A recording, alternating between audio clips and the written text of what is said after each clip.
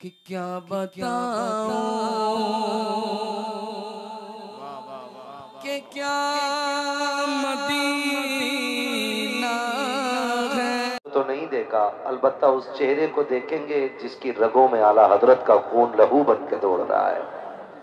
ये मेरी और आपकी खुशनसीबी और अराकीन कमेटी की मेहनतें हैं। इन लोगों ने बड़ी मेहनतें की हैं। कई बार ऐसा होता है ना हम थोड़ी देर बैठ के कहते हैं चल भाई। देख लिया, सुन लिया। जलसा एक रात का नहीं होता। ये जलसा तभी से सजना शुरू हो जाता जब से इसकी तारीख मुतयन होती है। अराकीन कमेटी तभी से मेहनत शुरू कर देते हैं जब से इसका दिन मुतयन किया जाता है कि फला तारीख में छह महीने बाद, पाँच महीने बाद, तीन महीने बाद जलसा होना है। और जब तक जलसा मुकम्मल नहीं हो जाता ना, जलसा कराने वालों को सुकून नहीं मिलता है। अभी कारी इस्माइल साहब कह रहे थे, साउंड का साथ नहीं दिया, साउंड ने अच्छा नहीं लग रहा है। तो मेरे जी में आया कि मैं वहीं कहूँ, लेकिन मैंने कहा, वहाँ नहीं, वहीं कहूँगा कुर्सी पे बैठ के। मैंने कहा, दिल थोड़ा क्यों करते हो? आपका काम था महफिल सजाना। महफिल जाने या महफिल वाला जाने? बस अपना तो ये काम है कि रहने दो या डुबो दो, अब तो तुम्हारी जानी। कश्ती तुम्ही पे छोड़ी, लंगर उठा दिए। अभी से कामयाब करना या नाकाम रखना ये हमारा काम नहीं है। हमारा काम यहाँ तक आना था। इसे कामयाब बनाना मदीने वाले का काम है। समझ गए ना मेरी बात? हमें कोई शिकायत ना मौसम से है, ना माइक से है, और ना ही कभी मजमे से रहती है। हम तो बस ये चाहते हैं, कोई रूठे तो रूठे, मदीने वाला ना रूठे। और पूरी मेहनत कफील भाई उन्हीं के लिए होती है। सरकार मुफ्ती आज़म हिंद ने फरमाया था, तुम्हें न देखा तो किस काम की है ये आँखें? कि देखने की है सारी बाहर आँखों में। फरिश तो पूछते हो, मुझसे किसकी उम्मत हूँ? लो, देख लो यह तस्वीरें यार आँखों में। हमारा तो कब्र में जाने का भी ख्वाब यह है कि नात खानी मौत भी हमसे छुड़ा सकती नहीं, हम कब्र में भी मुस्तफ़ा के गीत गाते जाएँगे। तो हमारा तो नज़रिया कब्र का भी यही है। हम तो आए भी दुनिया में हुजूर के लिए। और जाएँगे भी हुजूर ही के लिए। हमारी एक एक सांस हुजूर के लिए है। अगर कोई कुत्ता कहीं बैठ के भोंकता है तो वो ये ना सोचे कि हुजूर की जात इतनी लावारिस है कि कोई उनके लिए खड़ा नहीं होगा। खुदा की कसम, मेरे महबूब से आज भी कायनात प्यार करती है। जबान खोली तो जबान खींच के गले में लपेटने की ताकत रखते हैं हुजूर के गुलाम। ये तो तुम्हारी बुजदिली है कि हुकूमतें तुम्हें सपोर्ट कर रही हैं। तुम्हारे दलाल तुम्हें बचाने पे लगे हैं। दावे के साथ कहता हूँ, माँ का दूध पिया है ना? तो किसी गरीब मुसलमान के सामने मेरे हुजूर के खिलाफ भोंक के दिखा। या तो उस्ताद ज़िंदा रहेगा या हुजूर का गुलाम ज़िंदा रहेगा।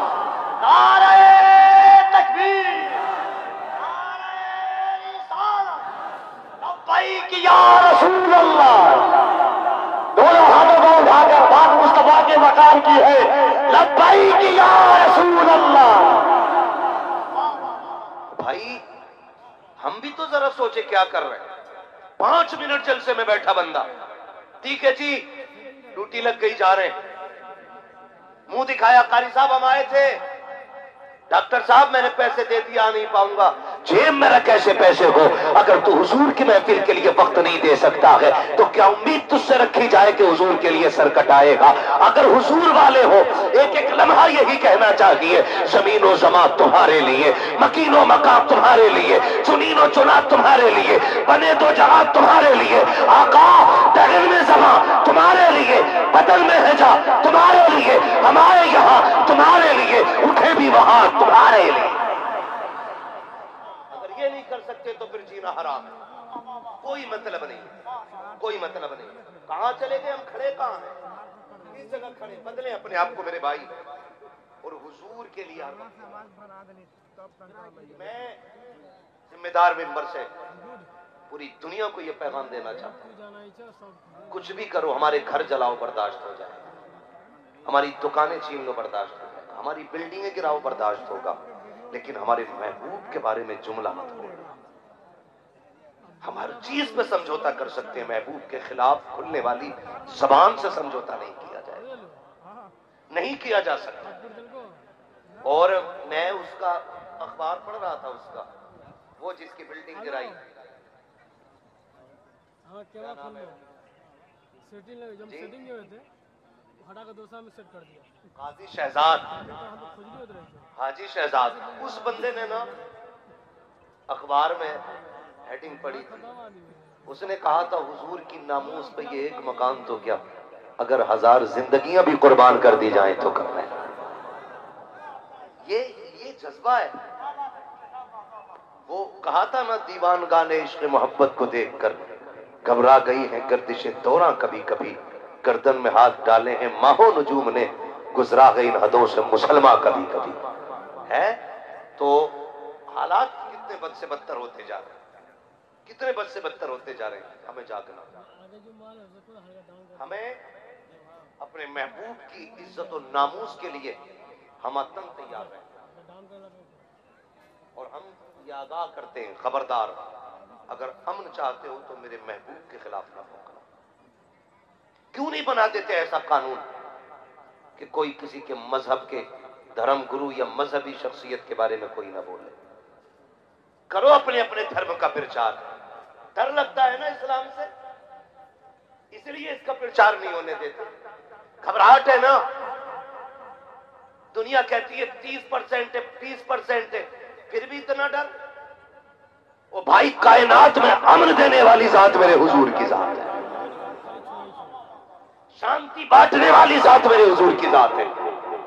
तारीख का ये बाप पलट करके तो देखो, जिन जमीनों पे एक प्लेट में भाई बैठ के खाना नहीं खाते थे, इस्लाम पहुँचा तो एक रोटी में दो शरीक करके दिखा दिए, जहाँ मुँह करके एक तरफ़ खाना नहीं खाते थे, इस्लाम ने एक परिवार को एक दस्तरखान पे लाके जमा कर दिया। तारीख का ये बाप भी तो पलट करके देखो, जहाँ औरत को पैर की जूती समझा जाता था। इस्लाम ने कहीं माँ कह के इज़्ज़त बख्शी है, कहीं बेटी कह के घर की रौनक बनाया है, कभी बहन कह के घर की जीनत बनाया है। तारीख का ये बाप क्यों भूल जाया करते हो? खाली गालियाँ देने से सच्चाई नहीं छुपेगी। आपकी बकवास से इस्लाम की हकीकत नहीं छुपेगी। जितनी गालियाँ दोगे, याद रखो, इस्लाम की फितरत में कुदरत ने लचक दी है। जितना के दबाओगे उतना ही हरा होगा। अमेरिका जाकर के देखो रोज बरोज लोग कलमा पढ़ रहे हैं। फ्रांस जाकर के देखो, इस्लाम की तादाद बढ़ रही है। जाओ दुनिया के मुल्कों का जायजा ले लो। तुम जितना मिटाने पे लगे हो, ये उतना बढ़ता जा रहा है। और खुदा की कसम, इस्लाम किसी बैसाखी पे नहीं चलता है, झूठी कहानियों पे नहीं चलता है। जब ये किसी गरीब को अपने आगे का लुकमा उठा के देते हुए देखते हैं तो कहते इस्लाम का मानने वाला इतना खूबसूरत है तो फिर इस्लाम कितना खूबसूरत होगा? जब किसी गरीब के इलाज में मुसलमान डोनेट करता है तो दुनिया देख के कहती है कि ये कमज़ोर बंदा अपना लहू दे करके अगर दूसरे की जान बचा रहा है, अगर मुसलमान इतना खूबसूरत है तो इस्लाम कितना खूबसूरत होगा? जब किसी के दस्तरखान पर ये रोटी जाके रखता है तो दुनिया सोचने पे मजबूर हो जाती है कि इस दौर में लोग एक एक रुपए के लिए लड़ जाते हैं। लेकिन ये ऐसी कौम है जो अपने आगे की रोटी भाई को खिला देती है। फिर सोचते हैं, अगर मुसलमान ऐसा है तो मदीने वाला मीना का लाल कैसा रहा हो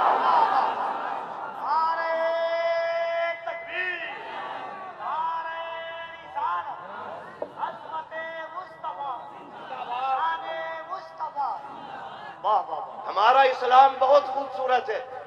हमें फक्र है रब ने हमें मुसलमान बनाया। हमें नाज है इस बात पे कि हम हुजूर की उम्मत में पैदा हुए। जिन्हें नाज है, बस वही बोलेंगे, या रसूल अल्लाह। मुझे कोई खिचड़ी नहीं चाहिए। हर जगह समझौता होगा, हुजूर की जात पे कोई समझौता नहीं। कोई समझौता नहीं हुजूर की जात पे। हिम्मत कैसे हुई बकने की? अगर दलील की चाहिए थी, अपने गरेबान में जानते जिस मज़हब को जानते नहीं, उसके बारे में बकवास की हिम्मत कैसी? मैं बस इतना कहूँ, इस्लाम से ज़्यादा खूबसूरत कोई मज़हब ही नहीं। है ही नहीं। इस्लाम ही सच्चा मज़हब है और इस्लाम ही खूबसूरत मज़हब है। ला के दिखाओ कोई मिसाल। खुदा की कसम आज आपने नहीं देखा। जरा जरा सी कुर्सियाँ लेके बैठे तो तबाही मचा रखी है। कोई किसी की सुनने के लिए तैयार नहीं। जिस दिन मेरे नबी का उमर बैठा कुर्सी पे, इंसान तो इंसान शेर बकरी एक साथ खड़े कर दिए थे। आज हालात देखे दुनिया के आप। किस कंडीशन पे लाके खड़ा कर दिया हिंदुस्तान को? हाँ नफसी नफसी का आलम है। और लोग अपनी अपनी राय पेश कर रहे हैं। राय पेश करने का हक एक राय मेरी भी है।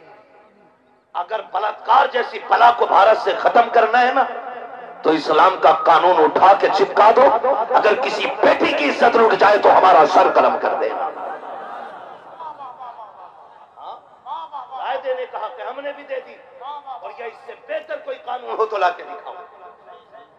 लाके दिखाओ। ये निज़ाम किसने दिया? मेरे नबी। क्यों ताकि बेटियों की इज्जतें महफूज रहे बेटियों की इज्जतें महफूज रहे। मैं कहता हूँ, शर्म करो यार, गैरत करो।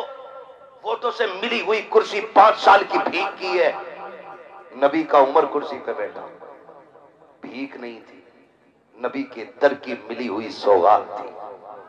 और कितनी बड़ी सल्तनत का मालिक हो जाएगा यहाँ? कोई भी वोटों से जीता हुआ, उमर आधी दुनिया का बादशाह। कितना? बाईस लाख मुरब्बा मील आधी दुनिया का बादशाह। चार मोहल्लों का चेयरमैन बन जाए ना, कपड़ों से बाहर। कलब के कपड़े, और यूँ चल रहा। मस्जिद में भी आ रहा तो यूँ। धार से पैर मारता। मुखिया आगे जगह दो। ये हमारी कंडीशन है। उमर आधी दुनिया का बादशाह है। लेकिन जानते हो, सबसे कम बैतुल माल से तनख्वाह लेने वाली जात हज़रत उमर की जात है। मिंबर पे तशरीफ़ लाए, नया कुर्ता पहन रखा है। समझाओ ना, ये सच्चाई दिखाओ इस्लाम की। मुगलों की हिस्ट्री से इस्लाम नहीं चमकेगा। इस्लाम को देखना है तो उमर की आँख से देखो। अबू बकर के किरदार में इस्लाम को झाँक के देखो। तब तुम्हें पता चलेगा इस्लाम बैठे मिंबर पे। कुतबा देने के लिए तशरीफ़ लाए। सहाबी खड़े हो गए। उमर, ठहरो। कुतबा बाद में होगा, पहले ये बताओ मैं कुर्ता कहाँ से लाया? है पावर आज किसी में कोई नेता से टोक दे कि वो जो कॉलोनी आई थी, आधे पैसे किधर गए? वो जो खिचड़ी का दाना आया था, वो आधा किसने बेच लिया? पूछ लेगा कोई। हम तो इतने बेगैरत हो गए, हम तो सोचते हैं आधा मिल जाए यही बहुत है। आधा नेताजी ने खा लिया तो क्या हो गया? हुए थे? दस मिलने थे, पाँच मिल गए। यही बहुत है, ये नज़रिया हमारे। लेकिन नहीं, ज़मीन महफूज रखनी है तो इंसाफ कायम करना पड़ेगा। इंसाफ असल है। किसके पास कितनी गुंजाइश है, ये असल नहीं। इंसाफ असल है, और इंसाफ हुआ हुजूर के दौर में। भी खड़े हो गए, उमर! आधी दुनिया का बादशाह अपनी जगह है। खुतबा बाद में देना पहले कुर्ते का हिसाब नया कुर्ता कहाँ से पहना? हज़रत उमर की आँख में आँसू आ गए, बैठ गए, कहने लगे, मुझसे हिसाब ले रहे हो। हज़रत अब्दुल्ला इब्ने उमर खड़े हो जाते कहा ठहरो, जो हिसाब लेना है मुझसे लो। एक ने कहा, अब्दुल्ला, तुम्हें नहीं मालूम है, मामला तुम्हारे बाप का है, हिसाब तुमसे नहीं लिया जाएगा। अल्लाह अकबर कैसे हक को लोग थे, कैसे इंसाफ पसंद लोग थे, का मामला आपके वालिद का है, आप क्यों हिसाब देंगे? का इसका हिसाब सिर्फ़ मैं दे सकता हूँ, मेरे बाप नहीं देंगे। का बताओ तो फिर तुम्हारे बाप ने नया कुर्ता कहाँ से पहना? कहते, अल्लाह अकबर, मैं जब रात को आया ना तो मेरे वालिद अपने पुराने कुर्ते को धुल रहे थे। इतना कल गया था कि जहाँ से रगड़ते थे, वहीं से फट जाता था। लाओ तो आदि, दुनिया का कोई इंसाफ पसंद ऐसा बादशाह। जहाँ से रगड़ते हैं, वहीं से फट जाता है। मैंने कहा अब्बा जी इस फटे हुए कपड़े को क्या करेंगे? इसको क्यों धुल रहे हैं? मेरे बाप ने कहा था, बेटे बता तो सही, इसके अलावा उम्र पे कोई कुर्ता भी तो नहीं है। कहा अब्बा जी कोई और बना लेते। मैंने कहा, कपड़ा नहीं है। मेरे बाप ने जब इतनी बात कही मैंने कहा अभी तो माले तिजार अभी तो माले गनीमत से कपड़ा मिला था। उसका क्या बना? का बेटे सबको बराबर कपड़ा मिला। लेकिन उमर का कद बड़ा है कपड़ा इतना बड़ा नहीं था जो उमर का पूरा कुर्ता हो जाता। कपड़ा छोटा है इसलिए मैंने कुर्ता नहीं बनाया। हज़रत अब्दुल्ला इब्ने उमर कहते हैं, मैं दौड़ता हुआ गया। जितना कपड़ा मेरे बाप के हिस्से में आया था, उतना की मेरे हिस्से में आया था। मैंने ला के अपनी तरफ़ से बाप की बारगाह में वो कपड़ा पेश कर दिया। मेरे बाप ने अपने हिस्से का कपड़ा और मेरे हिस्से का कपड़ा बना करके एक कुर्ता बनाया है। का उमर ने अभी तक किसी का हक नहीं मारा है। एक रत्ती एक भाई भी उमर पे किसी का हक नहीं है। अल्लाह अकबर के अमीर मोमिनीन फारूक आज़म है। जरा देख तो सही इस तरह इंसाफ कायम किया जाता है। आज हमारी पंचायतें होती है तो अमीरों के हक में फैसले कर दिए जाते हैं। गरीब की तरफ़ आँख मार के दबा दिया जाता है। गलती अमीर की होती है, फिर भी माफ़ी गरीब से मंगवाई जाती है। चल तू ही माफ़ी मांग ले, छोटा नहीं हो जाएगा। यह इस्लाम का कानून नहीं है। इस्लाम का कानून तो ये है, एक ही सब में खड़े हो गए महमूद अयाज। ना कोई बंदा रहा, ना कोई बंदा नवाज़। ये निज़ाम मेरे मुस्तफ़ा ने दिया है। कहा गए वो कुत्ते जो मुस्तफ़ा में भोगते हैं? ला के दिखाओ ऐसा इंसाफ पसंद। अगर तुम्हारे दलाल मुजरिम होते हैं तो साइड करके किसी बेगुनाह को आगे कर देते हो। अगर तुम कहीं मुजरिम पाए जाते हो तो अपनों को बचा कर बेकसूर को आगे बढ़ा देते हो। इसलिए कि कलम तुम्हारे हाथ में है, निज़ाम तुम्हारे हाथ में है। आज तुझे बताऊँ देश कैसे चलते हैं। कानून कैसे बनते हैं? वो जो कायनात के लिए कानून बनाने आया है, दुनिया को सुकून बांटने आया और खाली हाथ नहीं, बल्कि कायनात की कुंजियों की चाबियाँ अपने हाथ में लेकर के आया, जिसके बारे में मेरे इमाम ने कहा था तो जहाँ की नेमतें हैं, उनके खाली हाथ में।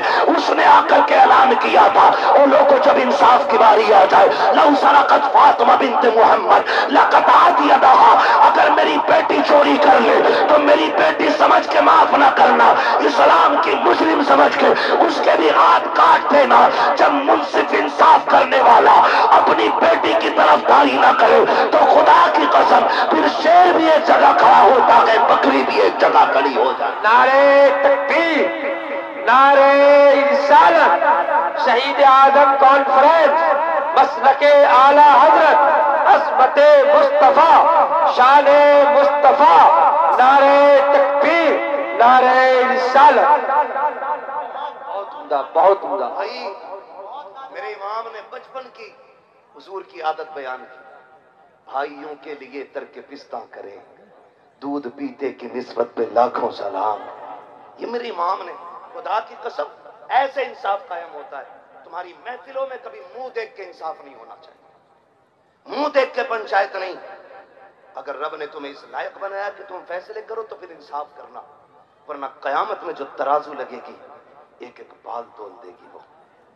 एक एक बाल तोल देगी। ज़िंदगी कोई ये दायमी नहीं है, मौत आनी है। मौत आनी है। और याद रखिएगा, जो जितना ज़्यादा ताकतवर है, उसको उतना ज़्यादा डरना चाहिए।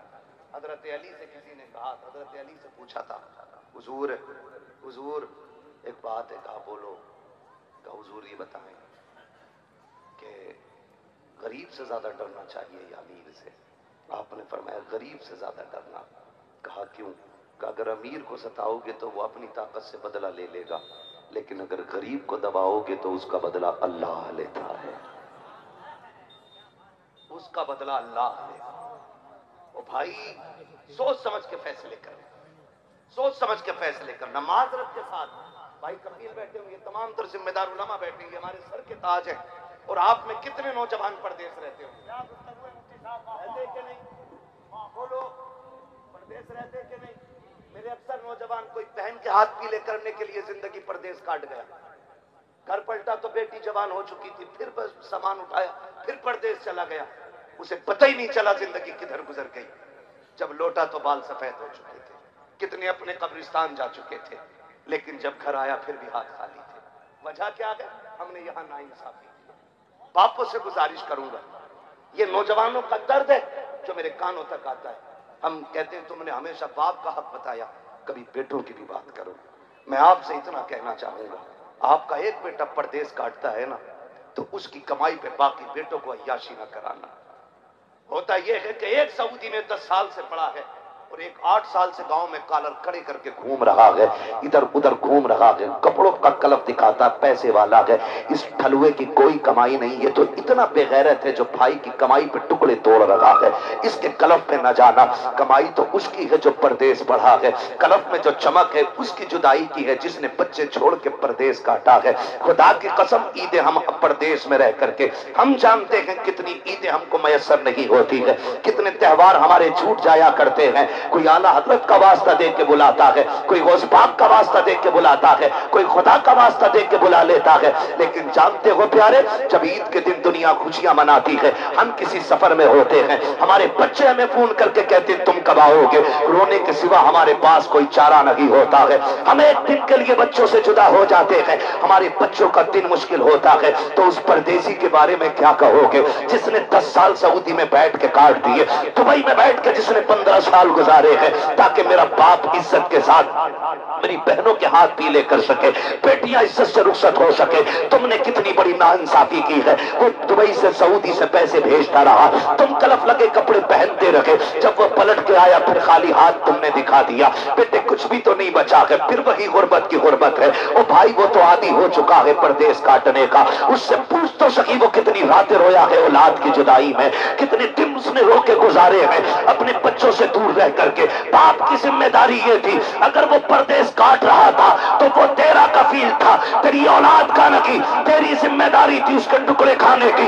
शरीकों में बांटने का तुझे हक नहीं है, उसके पैसे को उसके लिए बचा के रखता। दस साल काट के वो आता, इतना सहारा उठा के दे देता। बेटे, अब परदेश न जाना, तूने बहनों के लिए बीस साल काटे हैं, दस साल काटे हैं। मैंने तेरी बेटी को बेवा की तरह रोते देखा है, तेरे बच्चों को यतीम की तरह बिलकते देखा है। अब बेटे बच्चों से छुटाना होना। लेकिन हमारी बेगैरती और हमारी बेहिसी का आलम यह है कि जब परदेश से लौट के आता है, खाली हाथ दिखा के कहते हैं, जो तूने दिया था हाथों हाथ खर्च हो गया। और यार, पता तो सही ये इंसान ना इंसाफी क्यों की है? हर बात की ज़िम्मेदारी है। इस्लाम का कानून जहन में रखिएगा। इस्लाम तो ये कहता है, जब बच्चे जवान हो जाए, उनका नकफा बाप के जिम्मे नहीं रहता है। क्यों कहा इस्लाम ने इस बात को? आखिर इस्लाम भी तो कह सकता था कि 25 साल तक बाप बेटे को पालेगा। ये भी तो कह सकता था 20 साल पाले। लेकिन इस्लाम ने ये कहा है, जब बच्चे जवान हो जाए, उनका नानो नफका, उनका खाना पीना, उनका खर्चा बाप के जिम्मे नहीं होता है। गोया इस्लाम मिजाज दे रहा है, जब तेरा बच्चा समझ बूझ के लायक हो जाए तो फिर उसे उसके पैरों पे खड़ा कर दो, ताकि आने वाले दौर में ये इतना मज़बूत हो जाए कि जब ये निकाह करे तो इसे चोरी करनी ना पड़े, इसे ब्याज न लेना पड़े, इसे सूद का कारोबार न करना पड़े इसी को इसका हक न मानना पड़े, इसको कत्ल गारत करी न करनी पड़े। अपने बच्चों को पैरों पे खड़े कर दो, खुदा की कसम, आदि बीमारियों का खुद ब खुद जनाजा निकल जाएगा। और तुम भी ये कहोगे वाह क्या अच्छा हुआ है? हमने मोहम्मद का दामन क्या थामा? हमारी दुनिया भी संवर गई है, आखिरत भी संवर गई है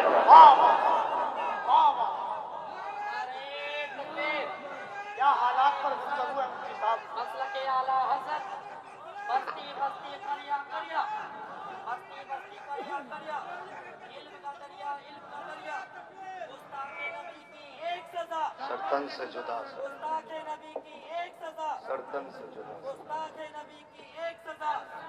लब्बैक या रसूल अल्लाह लब्बैक या रसूल लब्बैक या रसूल अल्लाह नारे तकबीर।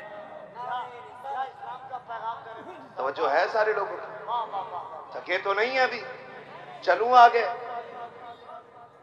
दोनों हाथों को उठा करके एक बात मैंने आपसे मैंने आपसे पहले कहा है कि हमाद हालात और वक्त नहीं, उम्मत मरहुमा की डूबती हुई नब्ज पे उंगली रख करके तकरीर करता है, जो वक्त की ज़रूरत है। जरा दोनों हाथों को उठा के कह दे, या रसूल अल्लाह और मोहब्बत से या रसूल अल्लाह मैं मैं मैं मानता हूँ, औलाद सारी प्यारी होती है माँ बाप औलाद के लिए माँ बाप इस तरह है जैसे हथीले के लिए पाँच उंगलियाँ। अगर कोई छठी उंगली निकल आए अंगूठे में अगरचे वो हिस्सा हाथी का होती है, लेकिन अगर रहती है तो ऐप पैदा करती है। और काटते हैं तो दर्द होता है। नौजवान बेटों से कहूँगा, अपने बाप पे बोझ ना बनना। अपने पैरों पे खड़े अपने पैरों पे खड़े और अगर ज़िम्मेदारी माँ बाप है तो उनसे गुजारिश इंसाफ करो मैंने ये सबक बरेली के अहमद रजा की माँ से पढ़ा है। पढ़ो ना आला हज़रत को। गधे हैं जो ये कहते हैं, बल्कि गधे से पत्थर हैं जो ये कहते हैं आला हज़रत काफिर बनाने की मशीन। शर्म नहीं आती है? पढ़ के तो देख आला हज़रत को पता चलेगा इमाम इश्क मोहब्बत की जात क्या है। आपके भाई, अल्लामा हसन रजा, हज के लिए जा रहे हैं। पानी का जहाज़ चलता था समझो है ना? पानी का जहाज़ चलता तो कई कई महीने के भी सफ़र हो जाते बाद वाली कश्तियाँ होती थी। हवा जिधर की चल गई, उधर ही कश्तियाँ चल जाती कभी उल्टी भी तो कभी लंगर डाल के रोकी, कभी पर्दे हटा के रोकी। ये दस्तूर उन कश्तियों का था। लेकिन मैं कुछ और बताना चाह रहा जब अल्लामा हसन रजा जाने लगे और सरकार आला हज़रत इमाम इश्क मोहब्बत इमाम अहमद रजा खान फाजिल बरेलवी अलैहि रहमत रिजवान अपने भाई का बैग उठा के छोड़ने के लिए आए। तो जो हाजी जा रहे थे ना उस वक्त में, तवज्जो है ना?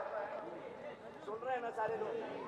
मैं चाहता हूँ अगर चार कतरे पसीना मेरा गिरे तो एक कतरा गुलामों का भी बहे ताकि कयामत में ये कहने के लिए जगह हो जाए, अगर मौलवी ने आके चार कतरे बहाए थे, हुजूर हमने भी आपके लिए एक कतरा बहाया।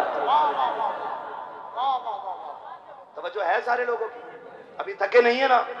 सरकारें अलग छोड़ने के लिए गए लेकिन जब भाई से रुखसत होने लगे ना तो लिखा गया है कि जाने वाले इतना नहीं रो रहे थे जितना मेरा इमाम रो रहा था।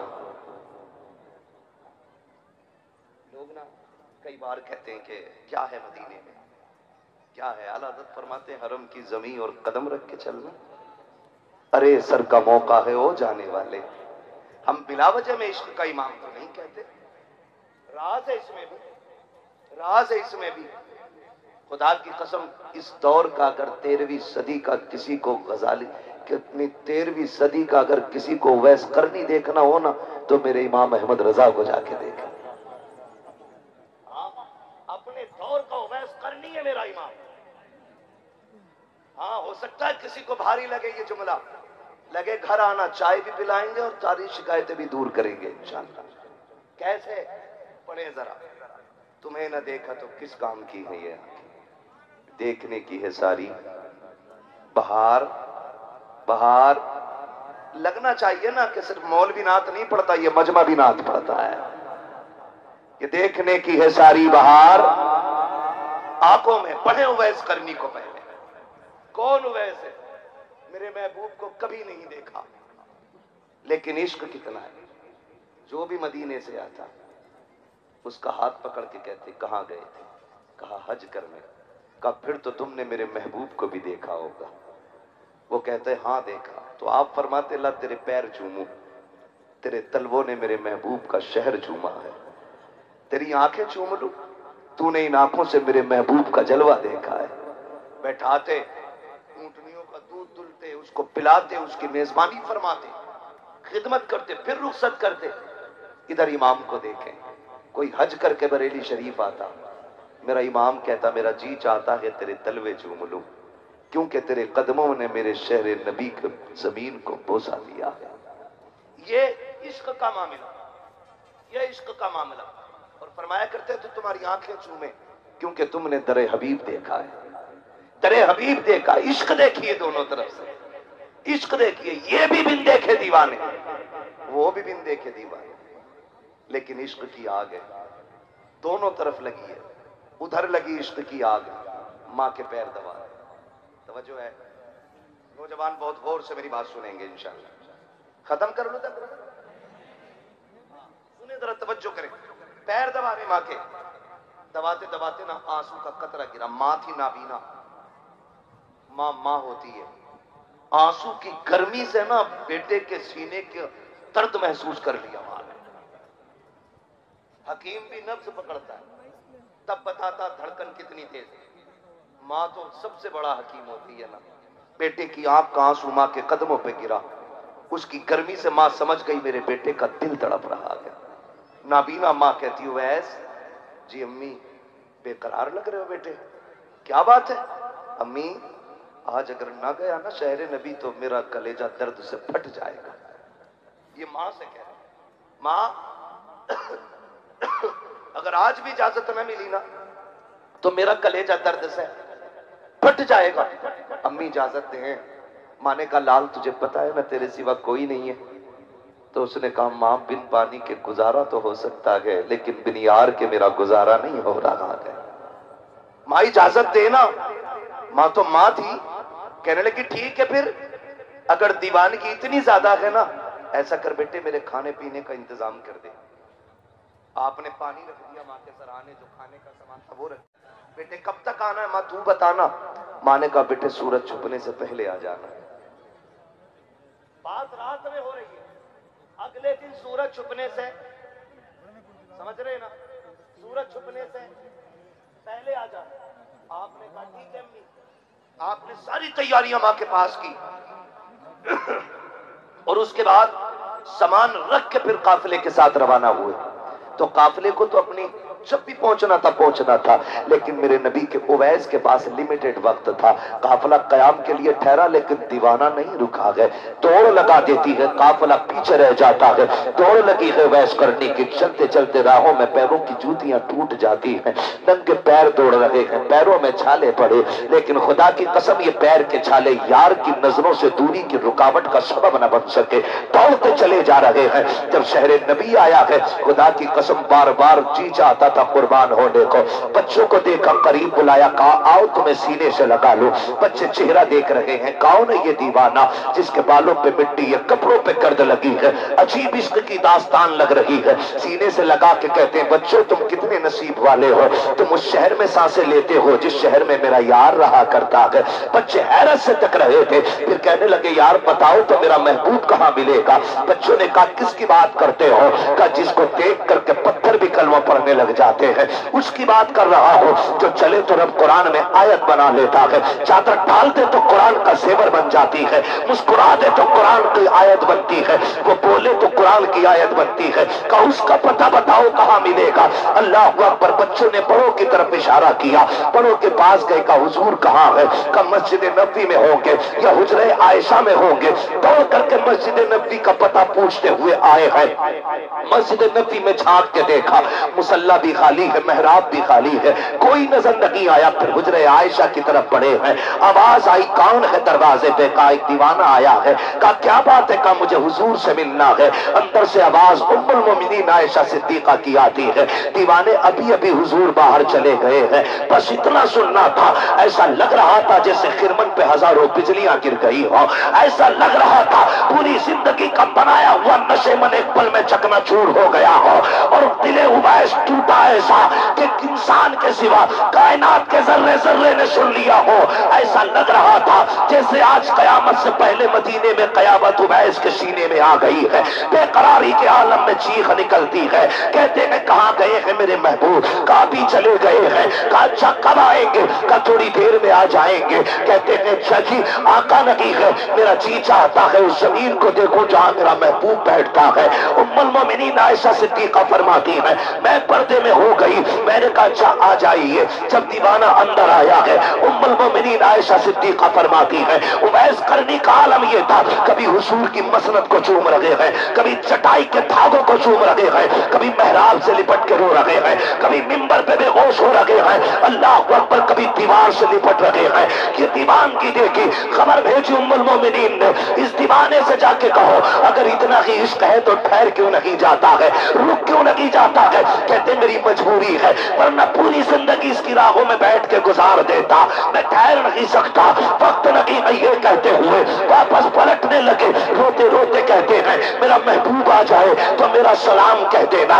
ये कहते वैस करनी तो चले जाते हैं, लेकिन खुदा की कसम, खंजर चले किसी पे, तड़पते हैं हम अमीर। सारे जहाँ का दर्द हमारे जिगर में है, मेरा महबूब तशरीफ़ लाता है। आके करीम अंदर आए हैं लंबी लंबी सांस लेके फरमाते हैं, आयशा, बताओ तो सही। क्या कोई आकर के गया है? आका करीम ने इतना कहा, जी या रसूल अल्लाह एक दीवाने को देखा था, उसके बालों पे मिट्टी लगी थी, कपड़ों पे गर्द लगी थी। आका बड़ा दीवाना था, कभी आपकी दीवार से लिपट के रो रहा था, कभी बिस्तर से लग के रो रहा था, कभी मेहराब को चूम रहा था, कभी मिंबर को बोसे दे रहा था। आका रो देते हैं, आका रोए क्यों? का खुशबू बता रखी है? अभी जो आके गया है, वो कोई और नहीं, मेरा वैस आकर के गया है, मेरा दीवाना आकर के गया है का उम्र जल्दी कीजिएगा। जल्दी करो, बुला के लाओ। तोड़ा दिया सहाबा को। लेकिन वक्त कम था वैस करने के बाद। अल्लाह अकबर तक तक हद पार हो चुकी थी मदीना शरीफ की। पलट के उमर आ जाते हैं। या रसूल अल्लाह वो तो जा चुके हैं, कहीं नहीं मिले हैं। मेरे नबी की आँख में आँसू है। फिर देखे उवैस करनी खड़ा रखे है। जैसी घर तशरीफ़ लाए हैं। दरवाजे पे दस्तक हुई है। माँ माँ हुआ करती है। आहट हुई माँ ने पहले ही कह दिया। आ गए उवैस बेटे। कची अम्मी का चल दिया बता जिसके लिए तड़पता रहा, उस यार का चेहरा कैसा था? जब वो तुझसे बात कर रहे थे तो लब कैसे हिल रहे थे? अब बताना तो सही कि जब पल के उठाते थे तो कैसे लगते थे? जब मुस्कुराते थे तो कैसे लगते थे? तरफ़ जाते गए। कहते, अम्मी, मैं जिसे देखने गया था, उसे देख ना सका। माँ ने कहा लगते जिगर क्यों नहीं देखा, का तूने शाम तक की मोहलत दी थी। मेरा यार कहीं जा चुका था। अगर ठहर जाता तो तेरा वादा टूट जाता। और अगर वादा पूरा करना था तो महबूब को छोड़ना था, किसी एक का इंतखाब करना था। माँ, तू तो वो है, अगर तू रूठे तो मदीने वाला भी रूठ जाता है, काबे वाला भी रूठ जाता है। माँ, तेरी नजा के लिए मैं यार के चेहरे की दीदार की कुर्बानी दे आया। माँ ने झोली फैलाई, कहा माँ ने सीने से लगाया, कहा, सुनना बागा, तेरी माँ कहती है, सारा जमाना मदीने वाले की बातें करेगा, लेकिन मिंबर पे मदीने वाला तेरी बातें करके जमाने को नारे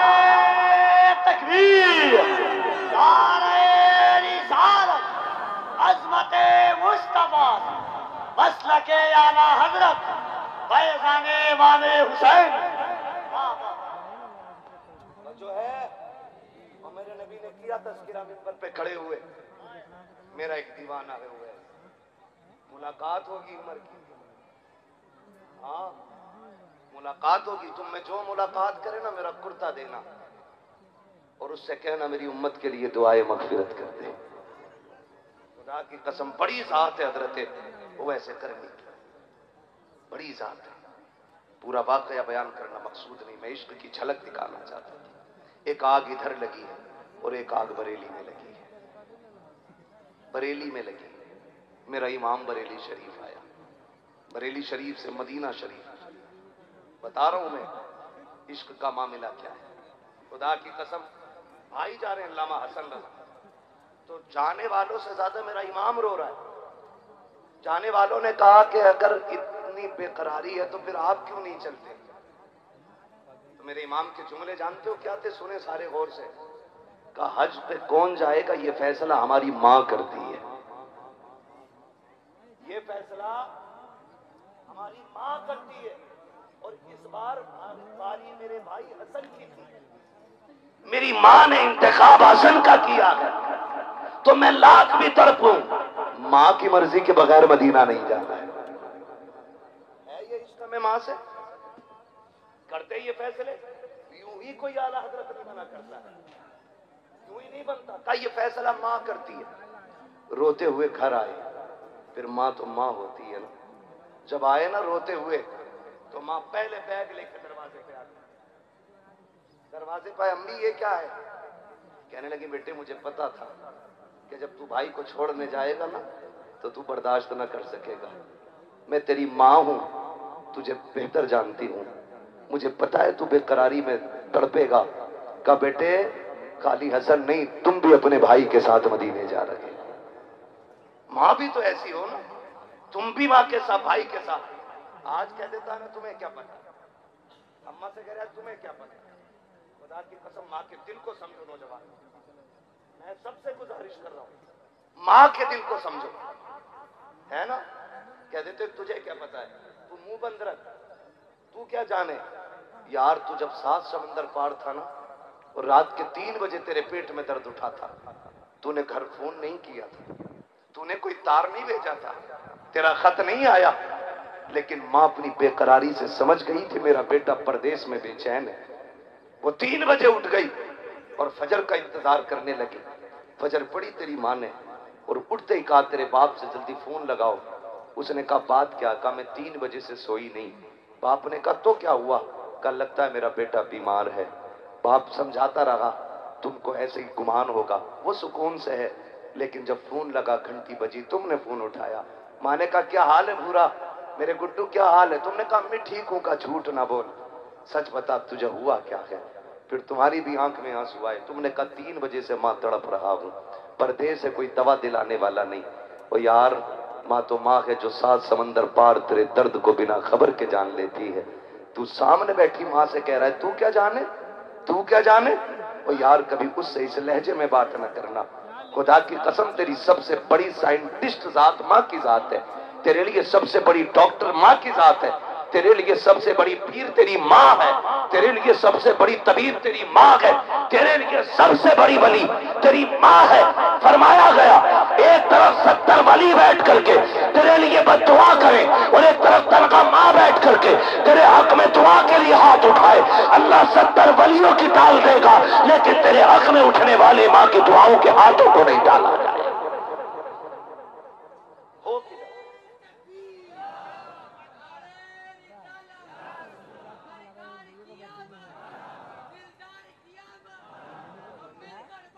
मरहबा। तो जो है सारे लोग अभी थके तो नहीं है ना? मेरा वक्त पूरा सा हो चला है। लेकिन मैं चाहता हूँ थोड़ा सा सफ़र और हो जाए। चलू आगे? ये इश्क का इमाम।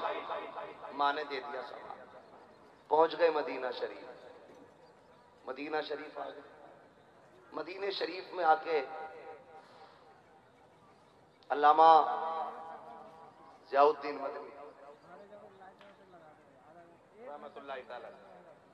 आपके घर में कयाम फरमाया मदीने शरीफ अल्लामा जियाउद्दीन मदनी फरमाते हैं कि जितने दिन आला हज़रत मदीने शरीफ में रहे, मैंने आँखें सूखी नहीं देखी। गमे में हबीब में आँखें भीगी रहती थी। अलग अलग नतीजे ना। एक शेर पढ़ा जाता, लौट कर आ गया, मक्के से मदीना न गया। जाता भी कैसे, जब आका ने अल्लाह आपको सलामत रखे। खुदा की कसम, चेयरमैनों से अच्छे तो ये जमींदार है। मेरा दिल कर रहा है कि मैं कुर्सी वहाँ डाल के तुमसे बात करूँ। तवज्जो है ना? लौट कर आ गया, मक्के से मदीना न गया। जाता भी कैसे जब आका ने? जब आका ने? जब आका ने? बुलाया ही नहीं। ये जाके लौट आते। और आला आदत फरमाते, काबे का नाम तक न लिया तैबा ही का। पूछा था हमसे जिसने कि नोहजत किधर की है? हमसे जिसने पूछा, मौलाना, किधर जा रहे हो? हमने कहा, मदीने जा रहे हैं। क्यों? उसके तुफैल हज भी खुदा ने करा दिए। भाई, उसके तुफैल हज भी खुदा ने करा दिए। इसलिए काबे का नाम तक न लिया ही का। पूछा था हमसे जिसने के नोहजत किधर की है? ये कहते जी, ये बरेलवियों का अकीदा बड़ा गंदा है। हम सलाम भेजते इमाम अहमद रजा की खबर पे। अल्लाह उनकी कब्र पर रहमत नाजिल फरमाए कि उन्होंने बरेली में करवट लेके सुन्नियों का अकीदा बचाया। कितना खूबसूरत अकीदा दिया। कहते हैं, तू ज़िंदा है बंदा। हाँ। आए सलामत रहे सलामत रहे। हालत देखे ये कह रहा, क्या है सुन्नियों का गंदा अकीदा? ये कह रहे, हुजूर देखते हैं, हुजूर दिखते हम तो यहाँ रात दे रहे हैं। मुतव्वे जो रहते हैं, मुतव्वे वहाँ। तो रात दिन देखते हमने कभी हुजूर को नहीं देखा। बगैर तो अपनी हकीकत तो देखो, तुम वहाँ जूता पहन के टहलते हो। जो जाली शरीफ है ना, इन्हें वक्त मिलता तो यूँ पैर रख के उस पर खड़े होते हैं। और जब वो जगह खाली होती है तो सिगरेट पीते वहाँ खड़े होकर के। मैंने कहा, बेअदबों को हुजूर नहीं दिखाए जाते, अदब वालों को हुजूर दिखाए जाते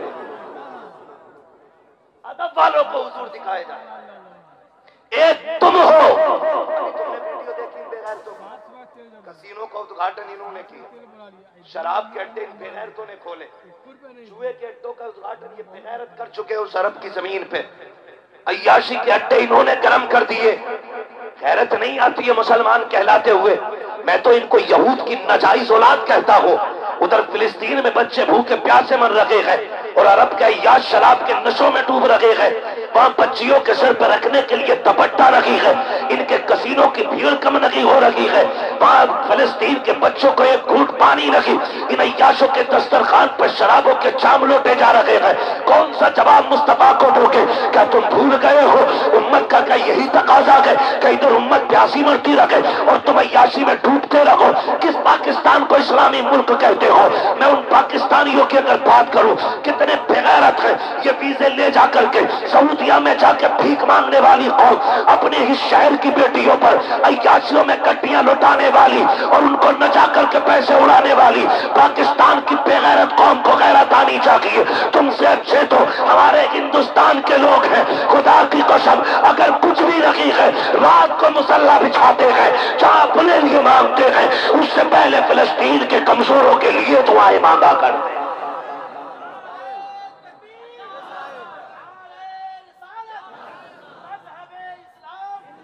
मसल के आला हज़रत, नारे तकबीर, नारे रिसालत, वाह, बहुत तबाह कर डाला हमारी कौम को। टकों के लिए नशा चढ़ा है। बेटियाँ कपड़े उतार के रील पे आ गई। भूल गए हम लोग।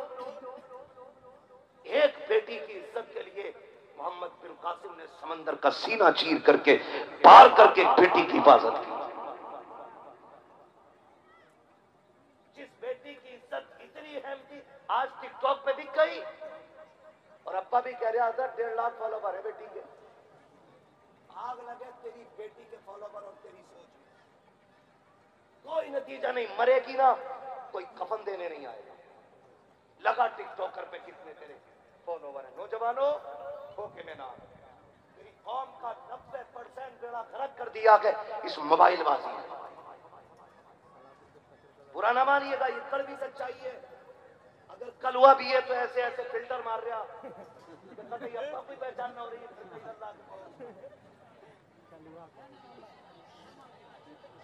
गलत कह रहा हूँ मैं। मैं एक बात आपको बता दूँ, मेरी तकरीर में लंबा खुतबा नहीं मिलेगा। मेरी तकरीर में शेर व शायरी नहीं मिलेगी। मैं अपने वक्त के साथ इंसाफ करने की कोशिश करता हूँ। ये मेरा वक्त आपने खरीदा है।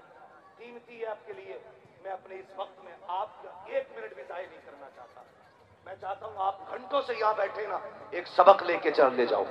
एक सबक लेके चले जाओ। मेरी कौम का पेड़ा करक करके रख दिया इस मोबाइल जिन्हें आईएएस की तैयारी करनी थी, वो वीडियो बना रहा कोई कुत्ते के साथ, कोई पिल्ले के साथ, कोई बिल्ली के साथ। है? कोई ट्रेन पे टंके कोई छत पे लटक के। क्या है? फॉलोवर बढ़ जाए। बेटियों के दुपट्टे उतर गए। तुम तो गाने की बात करते हो। फ़ैशन शो में बेटियाँ उतार के कहते हो कि मेरी बेटी के डेढ़ लाख फॉलोवर है। मैं तो ये कहता हूँ, इस्लाम तो इसको भी गवारा नहीं करता है। तेरी बेटी घर में कुरान पढ़ती हो और उसकी आवाज़ मोहल्ले में किसी के कान में चली जाए। इस्लाम इसकी भी इजाज़त नहीं देता है। तेरी बेटी नकाब के अंदर रह करके, नात घर के अंदर पड़े और घर के बाहर उसकी आवाज़ जाए। बता तो सकी जो इस्लाम इतना मोहतात हो कि बेटी की नात की आवाज़ को आँगन से बाहर नहीं जाने देगा और तेरी बेटी को टिकटॉक पे दुपट्टा उतारने की इजाज़त कैसे दे देगा? कैसे कह देते हो? फकरे बेटी के डेढ़ लाख फॉलोवर है। एक मौत झटका देगी। खुदा की कसम सब फरा का फरा रह जाएगा। लात मार दो दुनियादारी को। कुरान को अपनाओ, दीन को अपनाओ, इस्लाम को अपनाओ। फिर मरो। जब कबर में जाओगे, तुम्हारा जनाजा कहेगा लैद में इसके रुके शाय का दाग लेके चले। अंधेरी लाश सुनी थी चराग लेके चले। तेरे गुलामों का नक्शे, कदम के रागे खुदा वो क्या भटक सके जो ये सुराग लेके चले। बंद करो ये तमाशे। बेड़ा मिला टिकटॉक लाइक मिल गए। तो भाई उठ के चेक कर। कितने सब्सक्राइबर हो गए। कितने लाइक हो गए। कितने लोगों ने कमेंट किया। क्या फ़र्क पड़ता? कमेंट की औकात? हवाओं में लिखी जाने वाली लाइनें? इसे कमेंट कहते हो? खुदा की कसम कमेंट वो है जो मेरे नबी ने किया। तुम्हारे मुँह से जो निकली वो बात होके रही, जो दिन को कह दिया शब तो रात होके रही। इसे कहते हैं कमेंट ये क्या किसी ने लिखा, डाला खत्म? खत्म? मैं आपसे ये कहना चाहता हूँ। कभी कभी आप भी देखते होंगे, मुस्लिम कहलाने वाली बेटी सोशल मीडिया पर नंगी हो गई। और बाप फख्र कर रहा है। मर जाना चाहिए। मर जाना चाहिए। फख्र की बात नहीं, ये गैरत की बात। है गैरत की बात। है एक बेटी पकड़ी थी राजा दागे। कैद कर लिया। उसने खून से खत लिखा अपना, हज्जाज बिन यूसुफ के पास। और लिखने के बाद उसने कहा था कि सुन, तू महल में लेटा है। और यहाँ चार दीवारी में अगर मेरी इज़्ज़त लुट गई ना, कयामत में तेरी कलाई पकड़ के महबूब की सामने ला के कहूँगी, आका, ये महल में मौज करता रहा और वहाँ चार दीवारी में मेरी इज़्ज़त लुटती रही। बता हुजूर को क्या जवाब देगा? जबकि हज्जाज बिन यूसुफ के पास मजबूरी थी। वो जो अपने महाज पे गई हुई थी, कोई सिपाही उसके पास नहीं था। खत लेके चक्कर लगा रहा था। क्या होगा क्या करूँ? भतीजे की नज़र पड़ गई। आज 20 साल का भी हो जा तो अम्मा कह रही है, अभी लल्ला ने देखा ही क्या है। पच्चीस का भी हो गया तो अम्मा कह रहा बालक ही तो है। जब पुलिस हथकड़ी डाल के जेल में ले जाती है, तब पता चलता है कि इसका बेटा भी जवान हाँ एक दिन नेपाल में तकरीर करने के लिए गया तो बड़ा अधिकारी था, कोई आई अधिकारी था। वो मिलने के लिए मुझसे आया। उसने कहा कि तुम्हारे लेक्चरार से मुझे मिलना है। उसने मुझसे आके चार बातों में बात कही। उसने कहा, मैं भी मौलाना आपको सुनता हूँ। मैंने सोचा कि शायद आपसे ये बात कह दूँ तो कौन सुन ले। आपकी गुफ्तगू में संजीदगी होती, मैंने कहा, बात क्या है? बताएँ, सर। कहने लगे, जितने बॉर्डर पे नशे के साथ पकड़े जाते हैं, वो नौजवान मुसलमान ही क्यों होते हैं? मुझे बताओ कि और कोई बिज़नेस नहीं रह गया था पालने के लिए कोई और धंधा नहीं बचा था मंशियात फरोख्त करने चले बॉर्डर पे। तुम्हारा क्या जाता, तुम्हें कौन जानता है? औकात क्या है तुम्हारी? लेकिन जब नाम उमर होता है, जब नाम अली होता है ना तो उंगली सीधी मेरे महबूब की तरफ़ उठा करती है। कम से कम अपनी गैरत नहीं करते तो मदीने वाले की तो हया करो। तुम्हें कोई नहीं कहता कुछ भी। क्योंकि ना तुम्हारे बाप का नामो निशान है। ना तुम्हें कोई जानता है। तुम्हें देख के कहता आखिर ये मुसलमान इतने गंदे क्यों होते इस दिन के लिए ताइफ के पत्थर खाए थे नबी ने। क्यों डूब गए हम नशे में जाकर के? वो भाई, रब ने तुम्हारे लिए शराब तहूर का इंतज़ाम किया। तुम उस नशे में डूब गए, जिसे पी के नालियों में पड़े रहते हो। तुम्हारे लिए तो रब ने पाक शराब का जन्नत में इंतज़ाम नौजवानों उम्मीद करता हूँ कि इंशाल्लाह यहाँ ऐसा कोई नौजवान नहीं होगा जो नशे के करीब जाता होगा। और अगर जाता भी हो ना तो आज सच्चे दिल से तोबा कर देना। अल्लाह तेरे महबूब के लिए कभी ज़िंदगी में ऐसा कदम नहीं उठाऊँगा जो लोग मुझे देख के तेरे महबूब के बारे में बात करें। करते इंशाल्लाह वादा। कौन लोग हाथ नहीं उठा रहे बताओ तो और फिर सुन के भी देखना, कहीं हाथ तो नहीं रही है बगल शक्ल में। शराब को हाथ लगाएँगे, नहीं लगाएँगे इंशाल्लाह। सारे हाथ उठा लें, ताकि उसमें राज रह जाए पीने वालों इसका मतलब ये नहीं है जो उठा रहे वो पीते अल्लाह करीम है।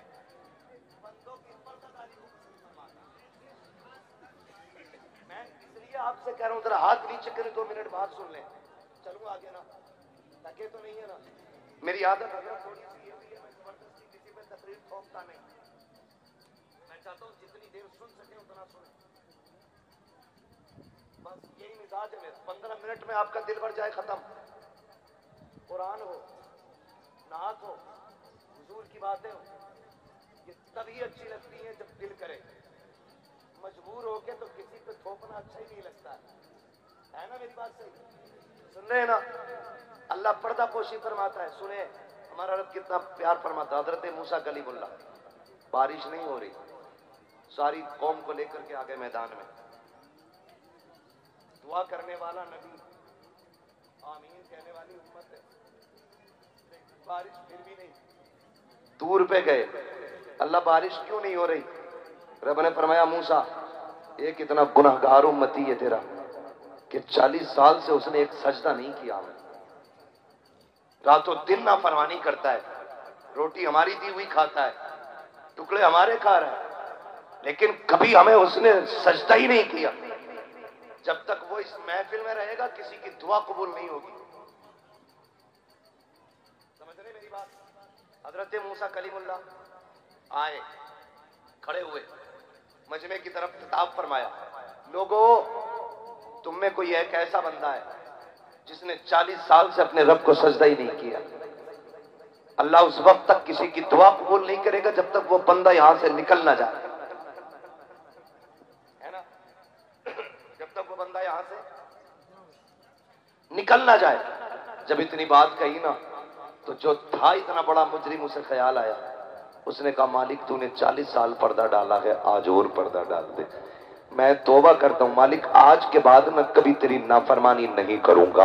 अल्लाह अकबर जैसे इतना कहा, आँसू आँखें भीगी, एक आँसू टपक के पलक से नीचे आया। अल्लाह ने झमाझम बारिश शुरू फरमा दी है। मूसा कलीमुल्लाह कभी मजमे को देखते हैं, कभी बरसते बादल को देख रहे हैं। सोच रहे, ना कोई आया, ना गया। बारिश क्यों हो रही है? फिर दूर पे जाना हुआ है। मालिक, राज समझ में नहीं आया। तू तो ये कह रहा था ना कि गुनागार बंदा है। जब तक वो निकलेगा नहीं, दुआ कबूल नहीं होगी। अल्लाह कोई गया भी नहीं, निकला भी नहीं, कोई आया भी नहीं, क्यों बारिश नहीं, क्यों बारिश हो गई? रब ने फरमाया, मूसा, जिसकी वजह से बारिश नहीं कर रहा था ना, उसी की वजह से मैंने बारिश कर डाली है। या अल्लाह, ऐसा क्या हुआ? का मूसा, जब तूने ऐलान किया ना कि निकल जाए मेरी महफिल से, जिसने चालीस साल से रब की नाफरमानी की है तो उसने आके भिगो के मुझे दिल से आवाज़ दी थी, मूसा, मेरी गैरत को मेरी गैरत को जब शबाब पे आई है, मैंने उसके सारे गुना माफ़ करके अपना दोस्त बना लिया। हज़रत मूसा कहते हैं, अल्लाह बता तो सकी कम से कम मुझे तो बता दे कि वो बंदा कौन है तेरा? जिसकी वजह से बारिश नहीं हो रही थी। तो रब ने कहा, मूसा, जब वो दुश्मन था, तब हमने पर्दे डाल रखे थे। अब तो वो दोस्त हो गया है। और सुन, जब हम दुश्मन के पर्दे नहीं हटाते तो हम दोस्तों के आबों से पर्दे कैसे हटा सकते हैं? ताजुश शरिया ताज। सारे लोग अपनी अपनी जगह खड़े हो जाइए। शहजादे ताजुश अ, शहजादे हजूर मन्नानी मियाँ हजूर सिमनानी मिया साहिब कबिला दामाजिल्लाहुल की आमद आमद हो रही है सुबहान अल्लाह।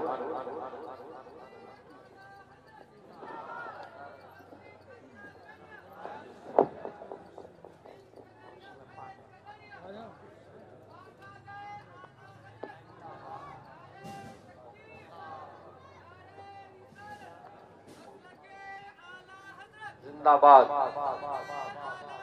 जिंदाबाद जिंदाबाद। जिंदाबाद जिंदाबाद। नारे तकबीर, नारे रिसालत मसलक आला हज़रत। अल्हम्दुलिल्लाह, पीर तरीक़त रहबर राह शरीयत। हज़रत अल्लामा मुफ्ती इमरान नदा खान अल मारूफी समनानी मियाँ। शहजादा मन्नानी मियाँ, पूरे आन बान शान के साथ तशरीफ़ फरमा है। हज़रत इंशाअल्लाह कुछ देर नासिहाना कलिमात भी इरशाद फरमाएँगे। इसलिए आप तमामी हजरात से गुजारिश है कि हज़रत की दुआ में शामिल होकर ही यहाँ से तशरीफ़ ले जाए। और जिन हजरात को सिलसिले नज़रिया में दाखिल होना वो इंशाल्लाह मुरीद भी हो जाएँगे।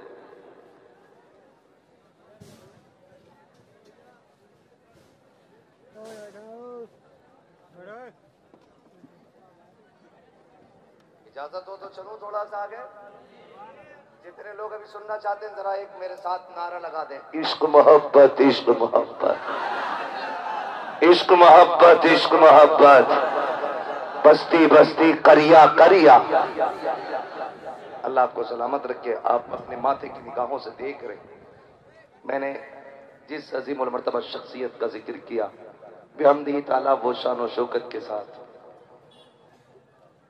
मुकम्मल, रजवी आन बान शान के साथ। आला हज़रत के खानदान का वकार अपनी अदाओं में समेटे हुए, निगाहों में उस खानदान की इफ्फत व अजमत समाये हुए। वो ज़ात बाबरकत, हुजूर सिमनानी मियाँ दामजिल्लाली की ज़ात में मिंबर शरीफ पर जलवगर हो चुके हैं। अल्लाह हम सबको हज़रत के कदमों की, बरकतों की खैरात अता फरमाए। माशाल्लाह, मैंने पहले ही कहा था, अगर बेटे के चेहरे में ऐसा रोब है तो फिर आला हज़रत के चेहरे में कैसा रोब होगा? समझे जरा, और मैं हज़रत को मुकम्मल तौर पे तो जान भी नहीं सकता हूँ। बस इतना जानता हूँ कि अगर मैं ये कहूँ तो भेजा नहीं, ये शख्सियत कलंदर बगदाद है। हाँ सरकार गौसे पाक का बरेली शरीफ से बड़ा गहरा ताल्लुक रहा। और बेहमद ही ताला आज तक चला आ रहा। चला आ रहा है, चला आ रहा। मैं इंशाल्लाह थोड़ी सी बात बयान करूँगा। मैं अपनी बात पहले मुकम्मल कर लूँ तो तशरीफ़ ले आए मैं ज़्यादा सरकार को जहमत नहीं दूँगा। अल्लाह सलामत रखे। थोड़ी देर हज़रत से भी हमें दुआया कलिमात से मुस्तफ़ीज़ होना हज़रत की। मैं क्या बात अर्ज़ कर रहा था?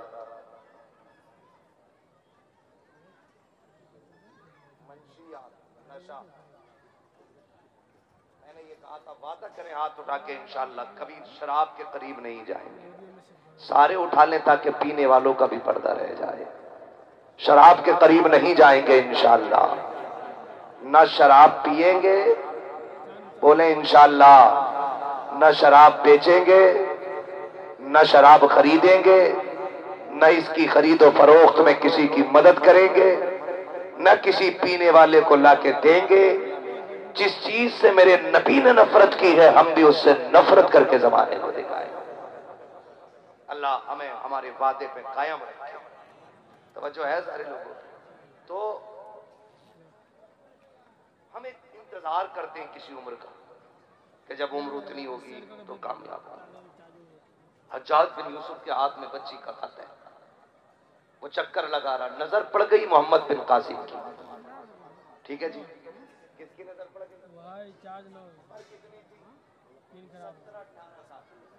हो। कोई उम्र होती है आज? सत्रह अठारह साल। अल्लाह खैर फरमाए।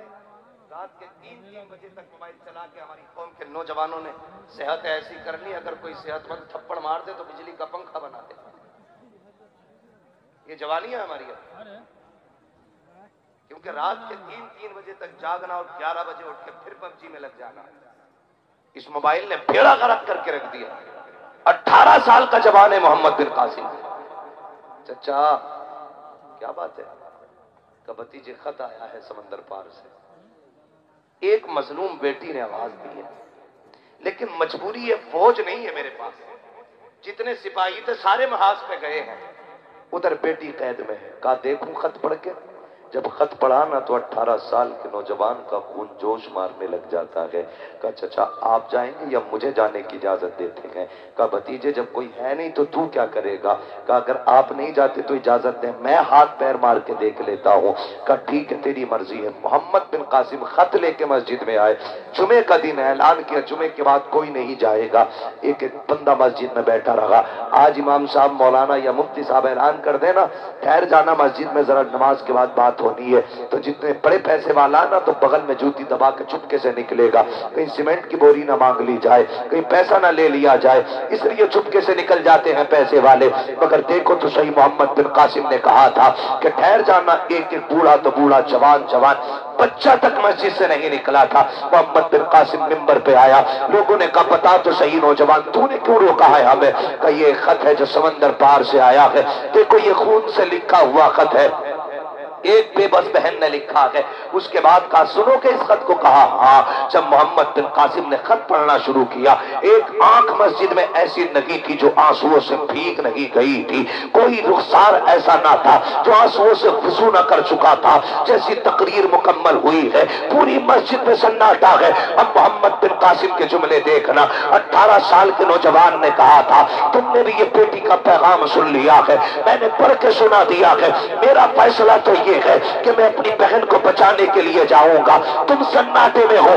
तुम बताओ तुम्हारा क्या फैसला है? जब इतनी बात मोहम्मद बिन कासिम ने कही थी एक एक बंदे ने तड़प के कहा था, मोहम्मद बिन कासिम, ये न पूछ हमारा फैसला क्या है। बस इतना बता दे, इतना वक्त है कि नहीं कि घर जाके तलवारें उठा ली जाए या यहाँ से सीधे समंदर पार जाना है। मोहम्मद बिन कासिम ने कहा था, तुम्हारे जज्बे और हौसले को सलाम। अगर ये जज्बा रहा तो अब तलवारों की भी ज़रूरत लगी है। लेकिन जाओ जिसके पास जो हथियार है, ले लो। चंद अफराद को लेकर के मोहम्मद बिन कासिम समंदर का सीना चीरता हुआ आया और दुश्मनों की ईट से ईट बचा करके इस्लाम की कलमा पढ़ने वाली बेटी का हाथ पकड़ के लेके जाने लगा। लोगों ने ठहरा के कहा था, मोहम्मद बिन कासिम, जरा रुक तो सही। अगर मार दिया जाता तो क्या होता? तो मुस्कुरा के कहा था, अगर मर जाता तो सब्र होता। का सब्र किस बात का? कि लोग ये तो कहते गैरतमंद भाई था। बहन की आबरू पे मर गया था। का बेगैरती की ज़िंदगी से इज़्ज़त की बहुत अच्छी होती है? का तू सात समंदर पार इसके बचाने के लिए क्यों आया? का ये मेरी बहन लगती है? का तू रहने वाला कहाँ का? ये रहने वाली कहाँ की? तेरा शहर कौन सा है? इसका शहर कौन सा है? इससे मोहब्बत किस लिए? तो मोहम्मद बिन कासिम ने कहा था, कुछ रिश्ते वो होते हैं जिनको बाप बनाया करते हैं, लेकिन कुछ रिश्ते वो हैं जिन्हें रसूल पाक बनाया करते हैं। आपने कहा था, खून के रिश्तों में दूरियाँ हो जाती है, लेकिन रसूल के बनाए हुए रिश्तों में कभी दूरियाँ नहीं हुआ करती। अल्लाह ये ये गैरत थी हमारी आँखों में। आज सऊदी हुक्मरानों की गैरत मर गई। तू पड़े इन पे बहुत पहले मेरे सरकार मुफ्ती आज़म हिंद ने फरमाया था। तेरे हबीब का प्यारा चमन किया बर्बाद। इलाकी नजदी ये निकले भला मदीने से। और देखना, एक दिन मुफ्ती आज़म हिंद की दुआ रंग लाएगी और इन कुत्तों का कहीं नामो निशान नहीं मिलेगा। हुजूर का शहर अदब वाला शहर है। ये गाड़ियों से गए अभी मस्जिद नबी में। गाड़ियाँ चलाई इन्होंने के रोज़े पे इनके बच्चे बोलो से खेल रहे मस्जिद नबी के सहन में। गैरत मर गई इनकी इन्हें सऊदियों को, अगर मैं यहूदियों की नजायज औलाद न कहूँ तो क्या कहूँ? जहाँ बायसीद मुस्तामी जैसा बंदा सांसे थाम के आता है, वहाँ ये जूते पे जूता रख के सिगरेट पीते। गैरत नहीं आती है। और मरते यहाँ इनके नाजायज रिश्ते के भैये। उन्हें बुरा ना कह, वो इमाम है वहाँ का। आग लगे ऐसे इमामों की इमामत में। बगैर तो कोई जिन्हें नबी की ज़मीन का लिहाज नहीं, हम उन्हें मुसल्ले के लायक नहीं मानते। मुसल्ले के लायक वही होगा जिसका सीना इश्क रसूल का मदीना हो।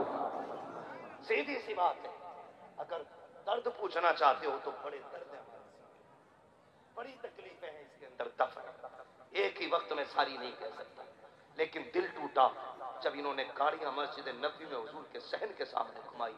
वो कहते हैं, हमें हुजूर दिखाई नहीं देते। दिखे कैसे? बेगैरत, देखने वाली आँखें नहीं होती हैं। देखने वाली आँखें मेरे रब ने इमाम अहमद रजा को अदा की है। अल्लामा जियाउद्दीन मदनी फरमाते हैं कि अल्लाह हज़रत सरकार मेरे घर के अंदर है। आँख में आँसू हैं। अचानक आधी रात में कहते हैं, चलो ना यार, हुजूर के रोज़े पे चलते हैं। अल्लामा जयाउद्दीन मदनी कहते हैं, मुझे सरकार आला हज़रत लेकर हुजूर के रोज़े पे गए। कहते मैं भी हाथ बाँध के पीछे खड़ा हो गया।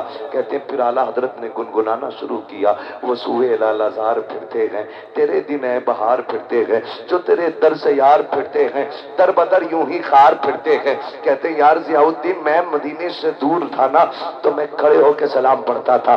कहता था, मुस्तफ़ा जाने रहमत पे लाखों सलाम शब बज़म हिदायत पे लाखों सलाम। आज नकी अली के बेटे के दिल में हसरत जाग उठी है, काश हुजूर सामने होते। मैं उनकी पेशानी देखता, फिर कहता, जिसके माथे शफात का सेहरा रहा, उस जबीने सादत पे लाखों सलाम। मेरी तमन्ना तो ये थी कि उनकी आँखों को देखो।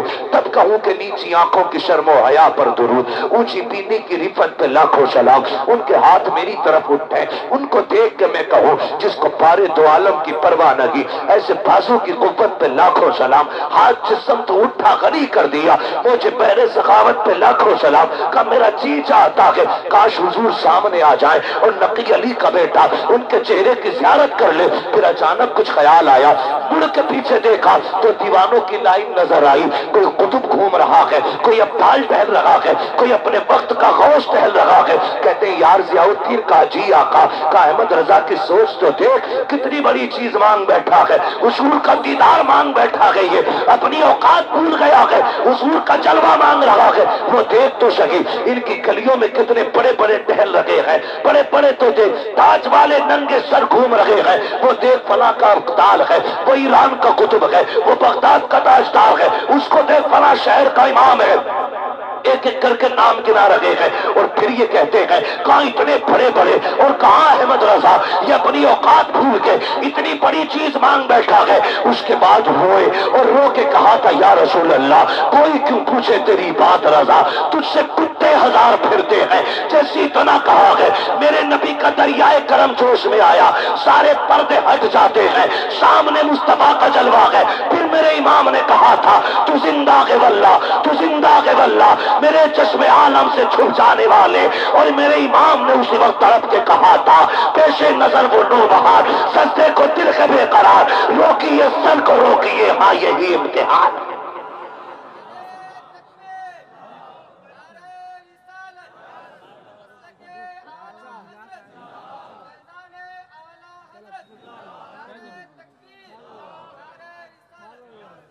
आज भी नज़र आएँगे, लेकिन नज़र इमाम अहमद रजा वाली है।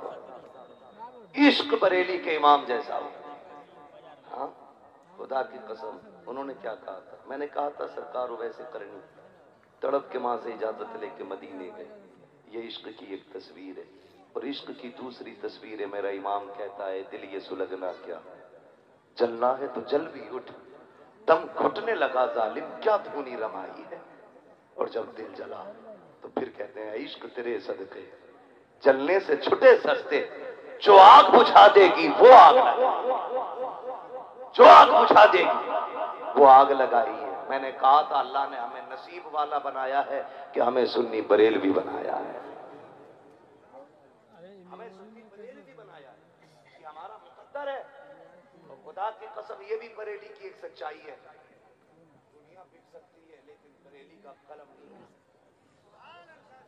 बरेली का कलम नहीं बिक सकता है। हाँ अगर आप कहें तो मैं 10 परसेंट पीरों की सुबह शाम अलग अलग बता दूँगा लेकिन ये बरेली के पीर है। जैसा इनका ज़ाहिर होता, वैसा इनका बातिन होता है। अगर ये महफिल में अल्लाह अल्लाह करते हैं तो इनकी तन्हाई में भी अल्लाह अल्लाह की सदाएँ आती हैं। क्योंकि तरबियत इमाम अहमद रजा के घर में हो रही है। घर में हो रही है। अल्लाह आपको सलामत रखे नौजवानों। कुरान में फरमाया गया वलासरीन इंसान मुझे कसम है जमाने की। हाँ बेशक इंसान खसारे में है। मगर वो लोग जो ईमान लाए और नेक अमाल किए, वो खसारे में खसारे में नहीं तो कोशिश ये करना है हमें, ईमान मज़बूत करना है, अकीदा मज़बूत करना है।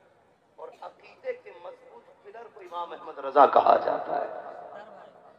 नज़रिया पेश किया मेरे इमाम हमें हमारे इमाम ने लावारिस नहीं छोड़ा। लावारिस नहीं छोड़ा। जब इल्म खैब पे कीचड़ उछाला गया तो मेरे इमाम ने अदौलतुल मक्की अता फरमाई। जब कुरान के तर्जमे के ज़रिए तर्जमा बदल करके लोगों के घरों में पहुँचा करके ईमान की चोरी हुई तो मेरे इमाम ने कंजुल ईमान अदा फरमा दिया। हाँ जब फिक्री मसाइल को लेकर के निजासत को चाट के पाक करने के फतवे दिए गए तब मेरे इमाम ने फतावे रजवी अता फरमाकर शरीयत के तकदस को हम लोगों के सीने में बहाल किया। फरमाया, कल भी शरीयत महफूज थी, आज भी शरीयत महफूज है। और ऐसा खजाना मेरा इमाम मेरा इमाम फतावे रजविया की रोशनी में दे के गया है। जब भी फिकी किसी मसले पे अटक जाओ, इमाम अहमद रजा का फतावे रजविया खोल के देख लेना। जिस मोड़ पे उलझे हो गए बरेली का इमाम आज भी वहीं पर रहबरी करता नज़र आएगा। हमारे इमाम ने हमें तनहा नहीं छोड़ा है। और जब तक ज़िंदा रहेगा हम अपने इमाम पे खराज तहसीन और खराज हकीकत पेश करते रहेंगे। उर्स रजवी आ रहा है। अल्लाह सलामत रखे खानवाद रजविया के मेजबानों को, जो पूरे मुल्क हिंदुस्तान नहीं, बल्कि दुनिया के कोने कोने से आने वाले मेहमानों की मेहमान नवाजी करते हैं। और खुदा की कसम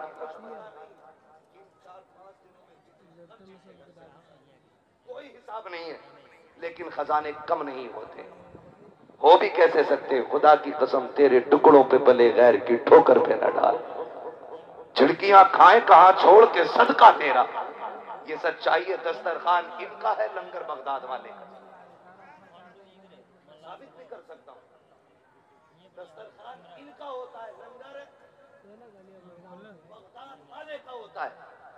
और ये खिला पिला के भी फिर भी यही कहते हैं, खाते हैं तेरे दर। पीते हैं तेरे दर का। पानी है तेरा पानी। दाना है तेरा। दाना है तेरा। ये क्यों नहीं बोल रहे भाई, सुने?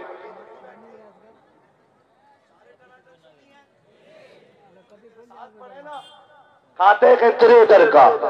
पीते हैं। पानी है तेरा। दाना है तेरा दाना और खुदा की कसम बरेली वालों ने जब भी मांगा ना बहुत बड़े सखी से मांगा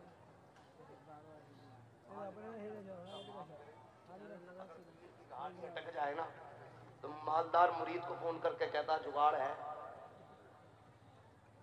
लेकिन जब इमाम इमाम अहमद रजा की गाड़ी अटकती है बल्कि ऑफ़र आते थे दो ही शेर लिख दो, नवाब साहब है, मंदिर इस्लाम का खर्चा साल भर का चल जाएगा। कलम उठाया गुस्से में, दिखाई पठानी।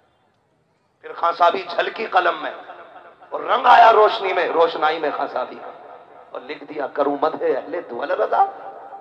पड़े इस बला में मेरी बला। मैं गदा हूँ अपने करीम का, मेरा दीन पा रहे ना? इन्हें कहते हैं इसे कहते हैं पठानी और इसे कहते हैं असल खसाबी। जब भी बरसे दुश्मनों पे बरसे, कभी अपनों पे नहीं बरसे। गैरों के लिए तलवारें बेनियाम हो जाती अपनों के लिए फूल की बारिश बन जाते थे। ये आदत करीमा थी मेरे इमाम आला ये आदत थी मेरे सरकारी इमाम तो मैं क्या बात हाँ? वो तो बहुत पहले बात है शुक्र रब इमाम अहमद रजा में अता की हमारे अकीदे की बात तो शुक्र वो किससे मांगते वो उससे मांगते हैं। जिसकी चौखट से कोई खाली नहीं जाता। जिसके बारे में अकीदा कितना मज़बूत है, कितना मज़बूत है। आज तुम जरा फंसा दो, अगले दिन केस कर देंगे। पीर साहब इसने मुझे गाली दी। और आला हज़रत क्या कहते हैं? आला हज़रत अपना मुकदमा कहाँ पहुंचाते हैं? एक तरफ़ आदाए दी एक तरफ़ है हाजी दी बंदा है तनहा शाह तुम पे करोड़ों जब नज़रिया मज़बूत तो फिर मदद मदीने से आई। और जब मदद आते देखी तो कहते मंगतों का हाथ उठते ही दाता की देन थी। दूरी कबूल अर्ज़ में बस हाथ भर की है। मांगेंगे, मांगे, जाएँगे, मुँह मांगी पाएँगे। सरकार में न लागे न हाजत अगर की है। लोग मिसरे उठाए उठाए घूमते, कहते हैं, फला का मिसरा देखो, फला का मिसरा देखो। मैं कहता हूँ, बरेली वालों के मिसरे देखो। हाँ ना ऐसा मफहूम, ना ऐसे अल्फाज, ना ऐसा साबिया, ना ऐसा जाबता, ना ऐसा रदीफ काफिया कहीं मिलता है। क्या कहते हैं आता है फकीरों पे, उन्हें प्यार कुछ ऐसा। खुद भीख दे और खुद कहे, मंगते का भला हो। मंगता तो है, मंगता को इशारों में दिखा दो, जिसको मेरे सरकार से टुकड़ा ना मिला। ये नज़रिया। और खुदा की कसम, एक बात और आखिरी बता के मैं बात खत्म कर लूँ। तशरीफ़ ले आए ना। याद रखिए, आज भी बरेली शरीफ की ये करामत है। जो बरेली वालों के हाथ में हाथ दे देता है, वो मोहताज होके तो मर सकता है, क्योंकि ये आजमाइश होगी। बीमार होके तो मर सकता है। ये भी आजमाइश होगी। लेकिन बदअकीदा हो के नहीं मर सकता है। इसलिए कि जिसका हाथ बरेली वालों के हाथ में चला जाता है, वो बिलवास्ता बगदाद वाले के हाथ में जाता है। और मेरे मुफ्ती आज़म ने आँखें खोल के दिखाया है मुफ्ती आज़म का गौसे आज़म का चेहरा। दिखाया है मुफ्ती आज़म और सरकार गौसे पाक बरेली शरीफ आते जाते रहा करते थे। अपने गुलामों की निगरानी फरमाते थे। आते थे, एक दूसरे से मुलाकातें होती थी लोगों की। बहुत बड़ी बारगाह बरेली शरीफ है। आज हज़रत तशरीफ़ लाए, मेरा मशवरा है, जो बैत किसी से ना हो, आला हज़रत के बेटे का दामन थाम लो। दामन थाम लो और बिल वास्ता सरकार गौ से पाक के हो जाओ। और ये मत सोचना कि जवान होंगे, शादी होगी, बीवी के साथ मुरीद होंगे। बच्चे सोचते हैं, यार मुरीद होके क्या करेंगे अभी? अभी तो छोटे नहीं, तुम नहीं जानते हो। किसी पीर के हाथ में हाथ दे दो, फिर देखना सिलसिले के बुज़ुर्गों के फिर फैज के दरवाजे खुलते हैं। फिर जब आगे फिरते हो ना, कलम पढ़ दो, पेन पढ़ दो, ये पढ़ दो, वो पढ़ दो। जाना बिस्मिल्लाह पढ़ना, बगदाद वाले का नाम लेके पर्चा खोलना। खुदा की कसम, फिर देखना, बगदाद वाले ने कर्म कर दिया ना तो आपके पर्चे में नब्बे परसेंट से ऊपर ही नंबर नज़र आएँगे। लेकिन समझते ही कोई नहीं।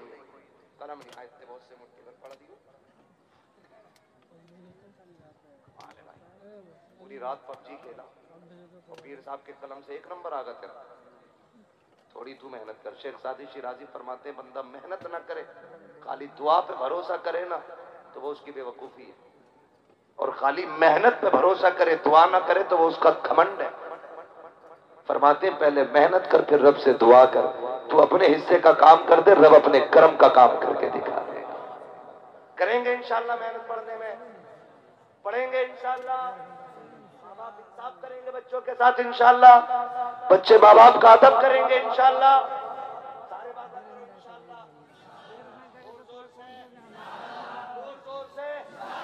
करेंगे माँ बाप की इज़्ज़त और अपने मसलक से, मजबूती से वफादार रहेंगे। मेरे मुर्शिद, सैयदी सरकार ताजुल शरिया आपने सबक पढ़ाया। गाड़ी में फरमा रहे बुज़ुर्गों की रब ने जो ड्यूटी लगाई ना वो पर्दा करने के बाद भी अपनी ड्यूटी पूरी कर रहे हैं। ये हज़रत फरमा रहे थे खुदा की कसम ये वो मर्द कलंदर है जो कभी यहाँ बैठे बैठे बगदाद चला जाता है। हाँ, जब जज्ब की कैफियत तारी होती है ना तो उसी को कहते हैं ना इश्क तेरे सदके जलने से छुटे सस्ते जो आग बुझा देगी वो आग लगाई। है हज़रत फरमा रहे थे जिसकी जो ड्यूटी लगाई है अल्लाह ने वो अपनी सारी ड्यूटियाँ पूरी कर रही मैंने पहली बार किसी को ये जुमला फरमाते। मेरे इल्म में इजाफा हुआ हज़रत फरमाने लगे बगदाद वाले की ड्यूटी थी। वली बनाना। वो आज भी वली बना रहे हैं। अजमेर वाले की ड्यूटी थी मुसलमान बनाना। नब्बे लाख को सामने कलमा पढ़ाया। और आज भी बगदाद अजमेर शरीफ जाके देखो कई कई लोग एक एक साथ कलमा पढ़ के अजमेर में मुसलमान हो रहे हैं। जिसकी चोट उठी थी उन्होंने निभाई। और मेरे इमाम को भेजा गया था अकीदा बचाने के आज भी मेरा इमाम अकीदा बचा रहा है। कितना पावर दिया है रब ने। जात नहीं, खाली दरवाजे पे इमाम अहमद रजा का नाम डाल दो। खुदा की कसम, मोहल्ले से बदअकीदा नहीं गुजर सकता। इस तरह हिफाजत कर रहे हैं अकीदे। और दुनिया के कोने कोने में आप चले जाओ। सुन्नियत बची है। हाँ इश्क किसने दिया? हर कोई कहता, बरेली के इमाम अहमद रजा ने। सरकार जाते रहते हैं मदीना शरीफ।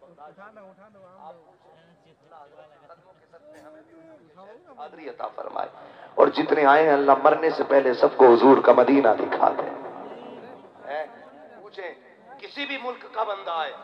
जबान कोई भी हो जब जालियों के आगे खड़ा होता है ना मुस्तफ़ा। जाने ये मकबूलियत है इमाम अहमद रजा की। अगर अंग्रेज़ भी खड़ा है तो सलाम मुस्तफ़ा जाने रहमत बिला को सलाम। श्रीलंका का बंदा है फ्रांस का बंदा है, कहीं का भी हो सलाम वहीं पर लगा के फिर कलेजे फटते कहीं निके कहते तुम लाखों सलाम पढ़ रहे हो और हद कर दी तुमने। अब तो तुम आला हज़रत पर सलाम पढ़ने लगे। हमने कहा शुक्र खुदा का हम बेगैरत नहीं है हम गैरत वाली माओ के लाल है। हम लुकमे खा करके नमक हराम नहीं है नमक हलाली करते गए हमने बाद में सलाम कहा है बरेली के अहमद रजा ने पहले सलाम कहा है। कहा कैसे? मैंने कहा तुझे याद रखी है, पर उनका एक शेर, उन्होंने ये कहा था, एक मेरा की रहमत में दावा रखी शाह की सारी उम्मत पे लाखों सलाम, जब सौ साल पहले वो हमें सलाम कह के गए, हम कयामत तक कहते रखेंगे डालती कल्ब में अजमत मुस्तफ़ा, सैयदी आला हज़रत में लाखों सलाम. नमक हलाल है, नमक हराम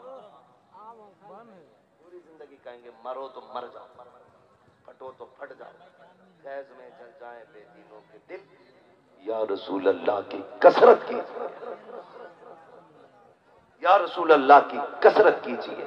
हाँ तो हमें जो है ना, मसलक पे मजबूती से कायम रहना है। मेरे सरकार मुर्शिदी सईदी सरकार ताज शरिया ने कहा था, मसलक के आला हज़रत पे कायम रहो। ज़िंदगी दी गई है इसी के लिए। ज़िंदगी दी गई है इसी के लिए। ज़िंदगी दी गई है इसी के लिए। फिर क्या मिलेगा? कहते, मसलक पे रहोगे, कादरी भी रहोगे, रजवी भी रहोगे। हुजूर, नतीजा क्या? का जो कादरी होगा, खुशखबरी मेरी तरफ़ से है। अख्तरे कादरी खुल्क में चल दिया खुल्क है हर एक कादरी की हर कादरी को जन्नत का मुद्दा सुना के गया हर कादरी जन्नती हर कादरी जन्नती है। ये उसने कहा है, जो अजान सुनते सुनते दुनिया से चला गया। अजान का जवाब देते देते गया, जिस पे बगदाद वाले की खास नज़र थी। हाँ जिस पे बगदाद वाले की खास नज़र थी। सरकार वो से आज़म के शहजादे बरेली तशरीफ़ लाए, सरकार मुफ्ती आज़म से मिलने के लिए। सरकार शरीयत आप भी दौड़े उनकी तरफ़। उन्होंने सर पे हाथ रखा। आप कहने लगे, कुछ हमें भी भीख मिल जाए। कहने लगे, शहजादे, तुम्हें क्या ज़रूरत है? बगदाद वाले ने सब कुछ तो तुम्हारे नाना को अता फरमा दिया।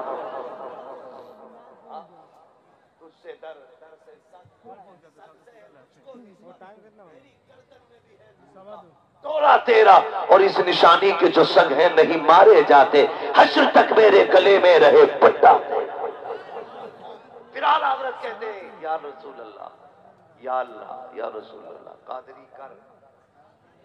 कादरी रख। कादरियों में उठा। अब्दुल कादिर कुदरत नुमा के वास्ते। क्यों? वही शेर पड़े अख्तर कादरी। खुद में चल दिया। खुद वाहे हर कादरी के लिए। हाँ बस अल्लाह सलामत रखे। और सरकार तशरीफ़ लाए हैं। मेरा मशवरा है, बरेली जाने में जूतियाँ टूट जाती हैं। फिर भी हजरातों से मुलाकात नहीं हो पाती है, क्योंकि तबलीग का काम रहता है, दीन दुनिया के कोने कोने तक पहुंचाना है। जब तक साँसें रहेंगी, मसलक की खिदमत हम लोग इनके कदमों के साय में करते रहेंगे। मुझे तो हैरत होती है, दिन में लोगों से मिलना, रात को जल से करना, किसी पे दम करना, किसी को तावीज़ करना, किसी का दुख सुनना, किसी की खुशी सुनना, पूरा 24 घंटे इसी में गुजर जाते हैं। यही वजह है कि वक्त से पहले बुजुर्गी आ जाती है उम्रें उतनी नहीं होती जितनी जल्दी बुजुर्गी आती है। खुदा की कसम, अल्लाह अल्लाह करने से बुजुर्गी और ज़्यादा तेज़ी से आगे बढ़ जाती है। हमेशा अल्लाह अल्लाह में रहते हैं। इनकी कुर्बानियों को सलाम। अल्लाह हमारे खानवाद रजविया के एक एक फर्द को चमकता दमकता रखे और अल्लाह इस चमन को यूँ ही शादो आबाद रखे। हाँ अल्लाह ताला शहर बरेली में आला हज़रत के खानवादे के एक एक फर्द को मौला करीम उरूज व कमाल अता फरमाए। हज़रत तशरीफ़ लाए हैं।